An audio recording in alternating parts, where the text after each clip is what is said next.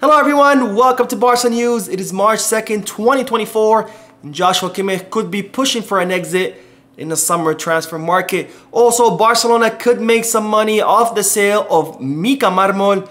And finally, Chadi Riad has responded to the speculation that Barcelona could be looking to buy them back. We have a lot to discuss, so let's begin.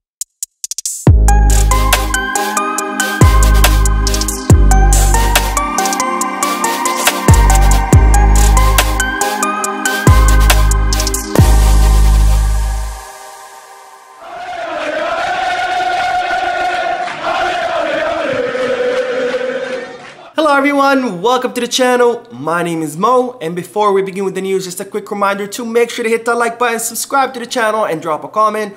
All of this helps this channel continue to grow.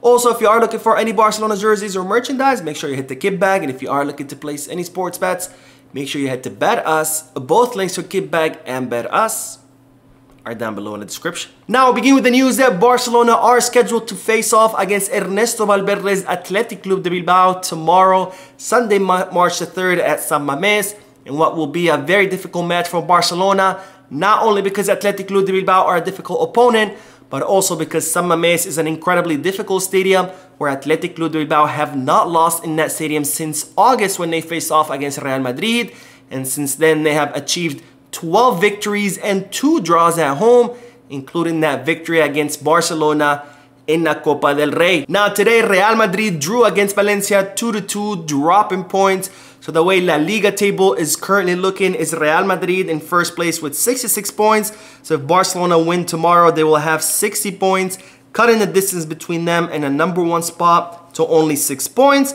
And of course, gaining those three points would also mean that Barcelona would increase the distance between them and Athletic Club de Bilbao to 11 points against a team who is fighting for the fourth Champion League spot. Now, since Real Madrid did draw against Valencia, I would like to make one prediction, but I have a strong feeling that during this upcoming week, somehow, some way, we will hear about the Enriquez Negreira case once again, because as we've seen all this season, whenever Real Madrid drop points, all of a sudden we start hearing about the Negreira case. Now, speaking of tomorrow's match between Barcelona and Athletic Club de Bilbao, Barcelona have released the squad list for that match.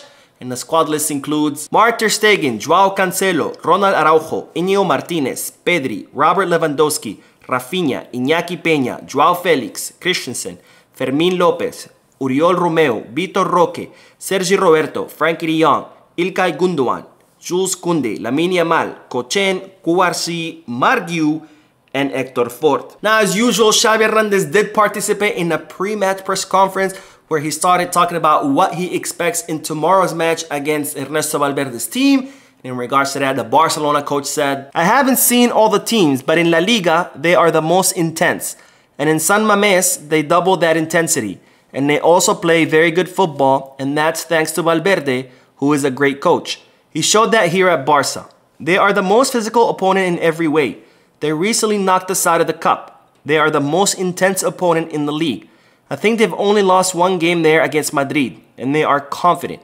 If we win, we'll take a big step forward. So Xavi Hernandez highlighting how difficult of an opponent is Athletic Club de Bilbao, specifically at home. They are the most intense team in La Liga. So I do agree with Xavi Hernandez's statement, but not fully because I don't think Ernesto Valverde was a great coach at Barcelona. In fact, Barcelona played just as horribly under him. Of course, the difference back then is we did have someone called Lionel Messi who used to rescue us all the time. Now, with that digressing too much, Xavi Hernandez was also asked about what kind of profile of a player he would like to have in his team. In regards to that, the Barcelona coach said, I think the way football is set up, you have to have all the profiles in the squad. Technical players, physical players, players who go into space. Football has changed a lot. Without losing our DNA, we have to have all profiles. And this is where, once again, I do disagree with Xavi Hernandez, and I think this statement really highlights why I don't think Xavi Hernandez is a great coach, is an innovator or a disruptor because what Xavi Hernandez tries to do, he tries to adapt to the current status of football, tries to figure out a way or how to survive within the scheme of how football, current football is set up, where if you look at other great coaches in the history of Barcelona, for example, Johan Cruyff, he did not look to adapt to his current times. What he did to look for is innovate and be disruptive and break the mold because when Johan Cruyff first arrived in Barcelona, the Spanish league was an incredibly physical league. It was all about big, strong players and all teams played like Getafe played against us during the first leg in La Liga, where they would look to break legs and the strongest would be the one who would win. Now, when Johan Cruyff took over Barcelona, he decided that he did not want to have physical players. He wanted technical players who are able to move the ball much faster than everyone.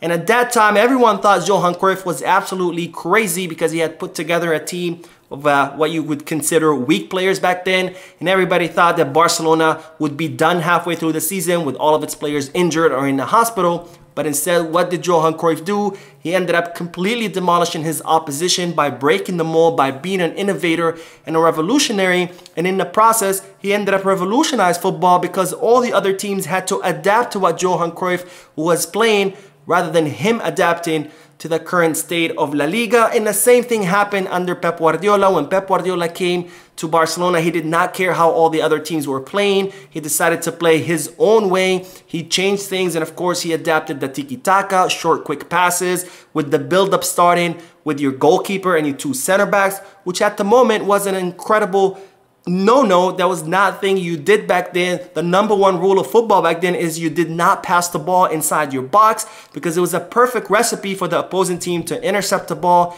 and score against you, but yet he did it. And at the time, everybody thought he was absolutely crazy for breaking the rules of football. But what did Pep Guardiola do? He ended up also demolishing his opposition. And in the process, he forced other teams to adapt to him, changing football forever because all the teams had to change how they played because they could not stop Pep Guardiola. So this is what differentiates Xavi Hernandez from the greats. He's not a coach who's looking to break the mold, who's looking to be disruptive, innovator, or revolutionary. He's only looking to adapt to the current stand, uh, to the current uh, football, to how football is played. And he's not even good at that because as we've seen, Barcelona have struggled a lot under his coaching. Now finally, Xavi Hernandez was asked once again about whether he still plans to leave at the end of the season. Of course, as I reported previously, there were a lot of media outlets saying that Joan Laporta had asked Xavi Hernandez to stay, so had Rafa Yuste. Here in the channel, I told you that those stories were not true, that that conversation had not taken place. So Xavi Hernandez was once again asked whether he plans to leave. And once again, the Barcelona coach affirming that yes, his intention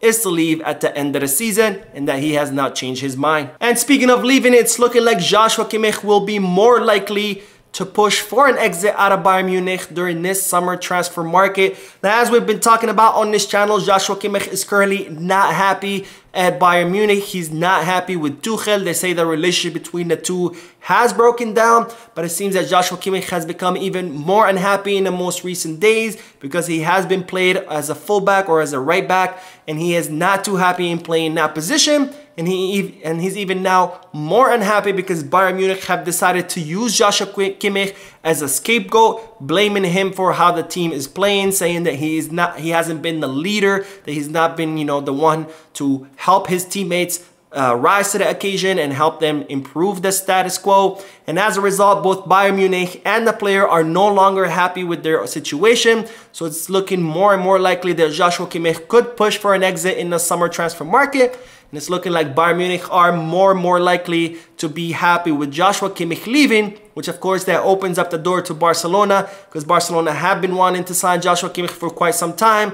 But before this, it was nearly impossible because there's no way that Bayern Munich would want to offload Joshua Kimmich. Also, Kimmich was happy at Bayern, but then with time, Kimmich became unhappy with Bayern and now Bayern are unhappy with him. So that's of course the perfect the perfect recipe for the player to leave in the summer putting Barcelona in a good position to at least try to sign the player. Of course, it will all depend on what kind of sales Barcelona could do in the summer. And speaking of sales, it's reported that Barcelona could make some good money off the sale of Mika Marmol. In case you don't recall who Mika Marmol is, he's a 22-year-old center back who came up through La Masia and given the surplus of center backs that Barcelona had, Barcelona ended up offloading him to Las Palmas where he's currently having an incredible season so far. So much so that Mika Marmol has caught the attention of Manchester City who are looking to purchase the player in order to loan him to Girona because as some of you might know, Manchester City and Girona belong to the same owner which is the City Group. Now, it's reported that Las Palmas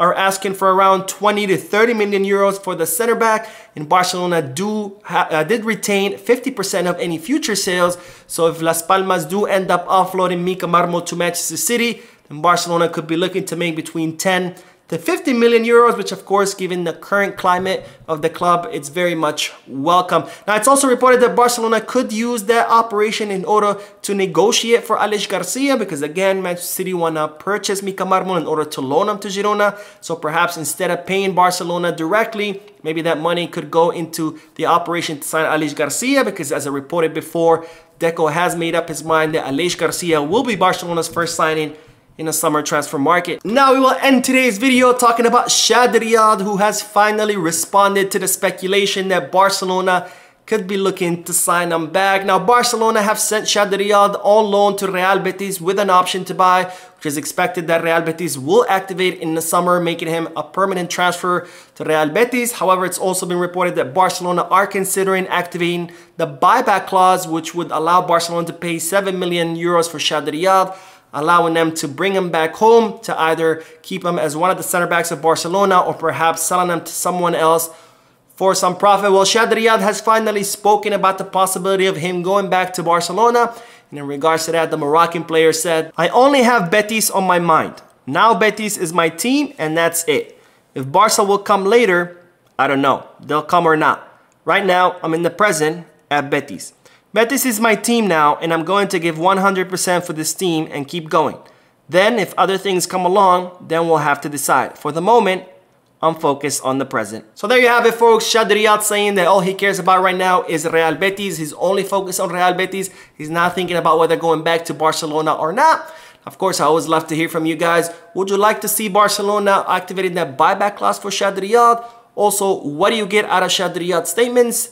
Is he trying to distance himself from the club? Is he just trying to be respectful to Real Betis? Let me know down below. So that is it for today. I hope you enjoyed the video. If you did, please give me a like.